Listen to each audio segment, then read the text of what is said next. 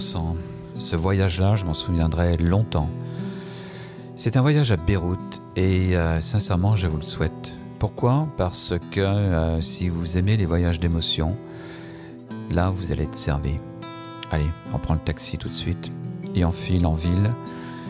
Je vous ai retenu là-bas un hôtel qui est près de la corniche, qui domine la ville, qui est calme, qui est euh, joli. Et euh, c'est important d'être bien logé là-bas parce que vous allez en prendre plein les mirettes. La ville va totalement vous transpercer. Elle va pas cesser de vous harceler avec quoi? Avec ses regards, avec sa frénésie, avec sa ferveur, avec sa densité, avec son énergie. Beyrouth, c'est quelque chose euh, de difficilement descriptible.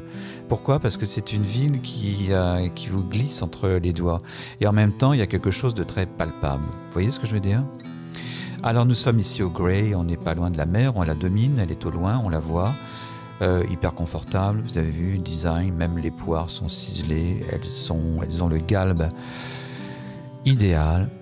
Les rideaux que l'on ouvre, la chaleur et sa fascination, vous connaissez la chanson. C'est tellement bien de se laisser caresser comme ça, de se laisser porter. La ville est toute proche, elle est en bas, il suffit de la rejoindre. On va prendre notre temps parce que euh, c'est important de décaler les rythmes là-bas, de pas être là comme un petit hamster dans sa roue. C'est prenez votre temps, prenez le temps de tout faire, même de descendre, de compter les étages, ne serait-ce que ça, ça va vous faire du bien. On y va?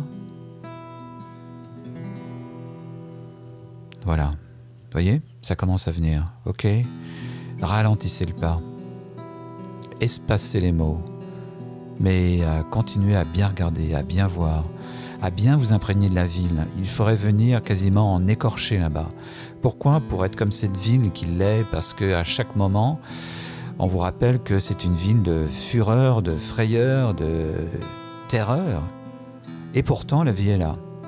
On va prendre un petit déjeuner, ne serait-ce que pour se remettre les, euh, aiguilles d'équerre. Vous avez vu un peu ce qu'on est en train de nous préparer? Une sorte de tremblement. Le type en est gagné, c'est pas gênant, mais là j'ai totalement adoré. J'ai même halluciné devant des compositions incroyables. J'étais sur le derrière, c'était cas de le dire, et vous risquez de rester incrusté à votre chaise, et elle-même, elle va s'enfoncer de quelques centimètres dans le sol carrelé. Là-dedans, j'ai mangé quelque chose d'incroyable qui s'appelle un faté. Qu'est-ce que c'est le faté? Bah, C'est pas compliqué, c'est des pois chiches, yaourt, pignons, amandes grillées. Vous voyez ce que je veux dire? Quand on a ça dans le bec, on a un vrai moment d'émotion. Vous avez compris le truc? Quand on voit ça, on se dit non, non, non, non, c'est pas fait pour moi. Et quand on goûte, c'est trop tard. C'est un peu comme la ville en fait. La ville, elle est, euh, elle est un peu comme ça, terriblement attirante et aussi effrayante. Regardez-moi ça, cet immeuble. On a gardé la façade et on se dit, hmm, ça c'est une bonne idée. On va construire par derrière quelque chose de délicat, de fin. Et regardez-moi cette horreur qu'on va lui bâtir dans le dos. Eh bien, ça c'est Beyrouth. Soudainement, un immeuble se dresse comme ça. Vous aviez une vue magnifique. 50 étages vont se construire de façon plus ou moins euh, légale, plus ou moins réglementaire. Mais on s'en fout parce que la loi la règle là-bas est bien loin, la vie est tout autre, elle fuse devant, elle galope et vous avez intérêt à suivre. Prenons notre temps néanmoins. On est ici chez un glacier qui s'appelle Anna, glace artisanale, délicieuse, incroyable, sursaturée. Comme on aime, fraises, cerises, vanille, c'est vachement bien. On peut se balader avec son cornet, ça rend la ville encore plus agréable, encore plus attractive, plus suave. Il faudrait marcher comme ça, comme on marche dans des villes italiennes, comme on marche euh, sans but. On veut juste essayer de rentrer dans le décor et on commence à le faire. La nuit surtout. Pour tout vous avouer, j'ai pas euh, me suis pas tellement promené la nuit. Je le regrette un peu. Les journées étaient tellement harassantes, tellement denses. Mais le soir, cependant, se promener là-bas, c'est aussi basculer dans une des nuits les plus euh, frénétiques qui existent dans le coin. On pourrait aller ici, par exemple. Ça s'appelle Alphala Monkey. Euh, mon conseil, n'allez surtout pas dans la cour jardin qui est bondée où tout le monde est, tout le monde se regarde. Moi, j'ai préféré l'arrière-salle avec les joueurs de rami, des écrans plasma. Euh, ça, c'est bien. On prend son temps, on a plus une grande table pour quatre. On sent les euh, narguilés, tout ça, et on se sent bien mieux. Ça y est, on y est. On est à Beyrouth. Et surtout, Beyrouth est en vous. C'est ça qui est bien. C'est se sentir dépossédé, c'est rentrer un peu dans les arcanes de la ville. On a l'impression que la ville rentre dans votre cerveau. Votre cerveau, ça va être comme ça, avec euh, des tas de choses, des vieux immeubles. Il y a certainement, et j'en suis sûr, une tarte comme ça, au miel, au fromage qui vous attend. Rebelote, c'est un autre jour. Re petit déjeuner, pain au sésame, embobiné, emballé. J'ai bien envie de prendre mon temps, d'aller juste au-dessus, de le goûter. Ça vous plombe à mort. Et ça, on se dit, ça y est, on rentre dans la, dans la ville, on rentre dans ses chairs.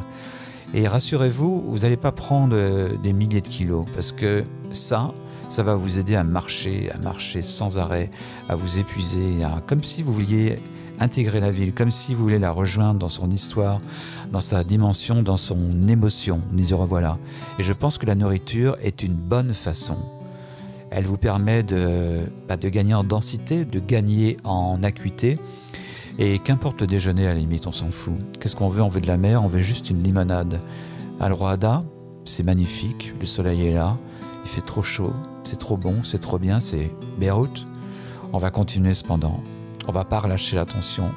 Maintenant qu'on est accroché aux hanches de la ville, on va s'y agripper, on va la prendre dans ses bras, et celle-ci vous rendra bien. On est sur la corniche, et le soir, on pêche, on garde, on se balade, on drague. C'est les familles qui sont là avec leurs bambins, qui galopent. Euh, la ville vous regarde, elle est toujours là avec ses grues partout, avec les belles bagnoles, les mecs qui plastronnent les filles qui étreignent leur nouveau sein.